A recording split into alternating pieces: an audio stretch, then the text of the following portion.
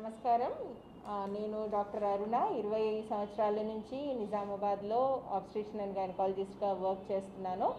So ఇప్పుడు ప్రస్తుతము మనకి ముహూర్తం సిజేరియన్ల గురించి నా అభిప్రాయాలని మీతో ప- పంచుకుంటున్నాను.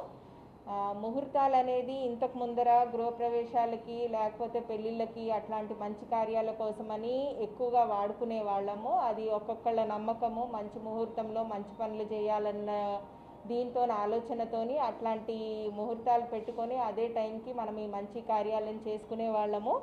అయితే ఈ మధ్య ఇదే ముహూర్త శాస్త్రము చాలా మటుకు కాన్పులకు కూడా వాడుకుంటున్నారు ప్రజలు.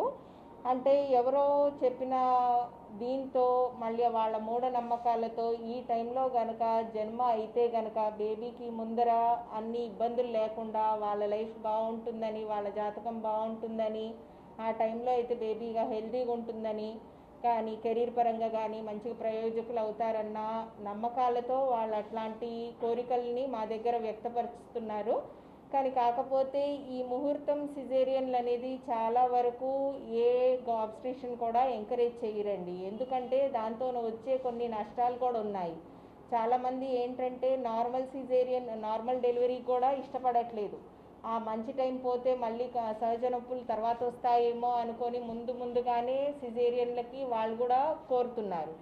సో అది కాకుండా ఇంకోటి ఏంటంటే ఒక్కొక్కసారి మనకి బేబీ మెచ్యూరిటీ రాకన్నా ముందే ఆ ముహూర్తం కోసమని తొందరపడి సిజేరియన్ చేయించుకుంటున్నారు.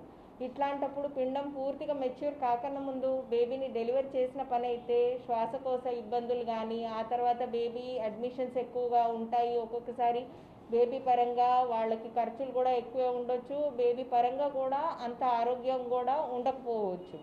సో ఈ నేపథ్యంలో ముహూర్తం సిజేరియన్ల కోసం పాకులాడటం అయితే చాలా తప్పు. అది కాకుండా చాలా మటుకు ఇదంతా ఏంటంటే మానసిక పరిస్థితి మీద డిపెండ్ అయి ఉంటుంది. మూఢనమ్మకాలని కొందరు వ్యాపారంలాగా చేసుకుంటున్నారు.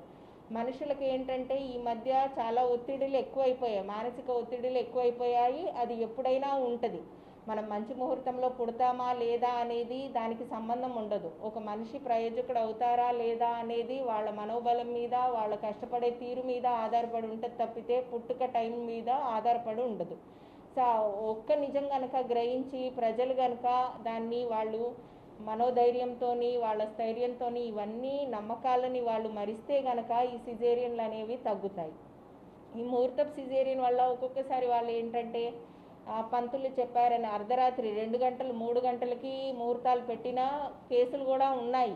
సో అట్లాంటి ఆట్ టైమ్స్లో కూడా వాళ్ళు అడుగుతారు. కానీ ఆ ఆట్ టైంలో అట్లా ఎలెక్టివ్ కేసుని మనం అంతా అర్ధాంతరంగా అర్ధరాత్రి అపరాత్రి అందరు యాక్టివ్ లేని స్టేజ్లో చేసి అనుకోకుండా ఆ టైంలో ఏమన్నా ఇబ్బందులు వచ్చాయంటే వాళ్ళతో పాటు డాక్టర్కి ఒత్తిడి అక్కడ వచ్చిన అనెస్థెటిస్ట్కి ఒత్తిడి అందరికీ మానసికంగా స్ట్రెస్ అవుతుంది. సో ఒక్కటి ఏంటంటే ఆ చిన్న మూఢనమ్మకం వల్ల చాలా మటుకు అనర్థాలు అయ్యే ఛాన్స్ ఎక్కువగా ఉంది అందులో జాతకం అనేది ఈ పెట్టిన జాతకాలు పెట్టిన ముహూర్తాలతోని జాతకాలు ఎవరివి మారవు.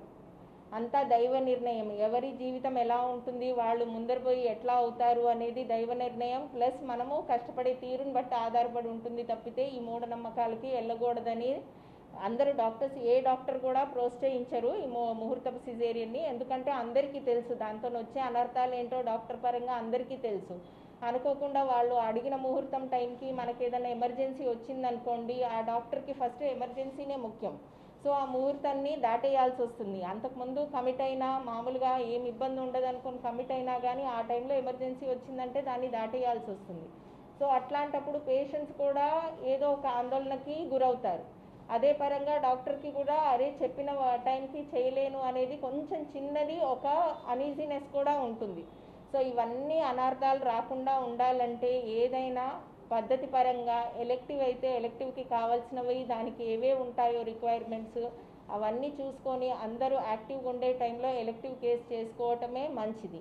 అది కాకుండా ఉట్టి మంచి ముహూర్తం కోసమని సహజంగా అయ్యే కాన్పును కూడా సిజేరియన్ లాగా మార్చుకోవటం కూడా తల్లి పరంగా కూడా ఇబ్బందికే లోన్ చేస్తుంది. సో ఇవన్నీ మూఢనమ్మకాలకు వెళ్ళకుండా మన మీద మనం నమ్మకం ఎక్కువ పెంచుకుంటే ఈ ముహూర్తం సిజేరియన్లు అనేవి చాలా మటుకు తగ్గే ఛాన్స్ ఉంది. ఇప్పుడు ప్రస్తుతం సిజేరియన్లు ఎక్కువగా పెరుగుతున్నాయి అనేది ఒక టాక్ ఉంది. అయితే దానికి కారణం ఎవరు అనేది అని మనం మాట్లాడుకోవాలి అనుకుంటే ఇంతకు ముందర ఉన్న దానికన్నా ఇప్పుడు నొప్పి తట్టుకునే తత్వం చాలా మటుకు తగ్గింది. చిన్నప్పటి నుంచే చాలా గారాభంగా అది ముద్దుగా పెంచుకుంటున్నారు పిల్లల్ని. ఏ కష్టానికి కూడా వాళ్ళని లోను కాకుండా పెంచుతున్నారు. సో అట్లాంటప్పుడు కాన్పు నొప్పులు అని నొప్పులని ఎందుకు పెట్టారు? నొప్పితో ఉంటాయి కాబట్టి నొప్పులనే పేరు పెట్టారు. సో ఆ నొప్పిని తట్టుకోలేక వాళ్ళు బాధపడుతుంటే వాళ్ళ ఫ్యామిలీ మెంబర్స్ కూడా తొందరగా వద్దు అనుకొని సిజేరియన్కి అడగటం ఒకటి అవుతుంది అట్లాగే బేబీది లాస్ట్ మినిట్ వరకు ఒక్కొక్కసారి పరిస్థితి ఎట్లా ఉంటుందో ఆబ్స్ట్రేషన్కి ఎంత మానిటర్ చేసినా లాస్ట్ మినిట్ వరకు కూడా ఏదైనా ప్రాబ్లం రావచ్చు. సో ముందర ముందరగానే వాళ్ళు మీరు ఒకవేళ అడిగిన తర్వాత కూడా మీరు నార్మల్ గురించి వాళ్ళని కౌన్సిల్ చేస్తే మా బేబీకి ఏం కాదన్న గ్యారంటీ మీరు ఇస్తారా అనేది అదొకటి ముందర పెడుతున్నారు. సో అట్లాంటప్పుడు కూడా ప్రాబ్లం అవుతుంది. అది కాకుండా కొన్ని కొన్నిసార్లు ఈ మధ్య ఏంటంటే స్కానింగ్ పరంగా మనకు ముందు ముందుగానే కొన్ని బ్రీచ్ ప్రజెంటేషన్ ఉంది లేకపోతే ప్లజెంటా కిందికి ఉంది. ఇట్లాంటి కారణాలు ఏవైతే ముందు మనకి కాన్పు నొప్పులు వచ్చే వరకు తెలియకుండా ఉండేవో ఒక్కొక్కసారి అవన్నీ ముందు ముందుగానే డయాగ్నోజ్ అవుతున్నాయి. అట్లాంటప్పుడు కూడా కొంచెం నార్మల్ కన్నా మనము డైరెక్ట్గా బేబీకి మదర్కి ప్రాబ్లం ఉండొద్దని సిజేరియన్స్ ముందే చేస్తున్నాము. సో అట్లా కూడా కొంచెం సిజేరియన్ రేటు రిలేటివ్గా పెరుగు ఉండొచ్చు. కానీ కావాలని ఆపరేషన్లు అయితే ఎవరు చెయ్యరు. మళ్ళీ అట్లాగే మనకి వసతులు కూడా. ఒక్కొక్కసారి సిజేరియన్కి డెలివరీ టైంలో మనము నార్మల్ సిజేరియన్ అయిన వాళ్ళకి మళ్ళీ నార్మల్ ట్రై చేయాలంటే కూడా మన దగ్గర ఉన్న వసతుల్ని కూడా చూసుకోవాలి. మనకి మత్తు డాక్టర్ టైంకి అందుబాటులో ఉన్నారా? మనకు బ్లడ్ది ఫెసిలిటీ ఎంతవరకు ఉంది? ఇవన్నీ చూసుకొని మనం ప్రయత్నం గురించి ఆలోచించుకోవాలి.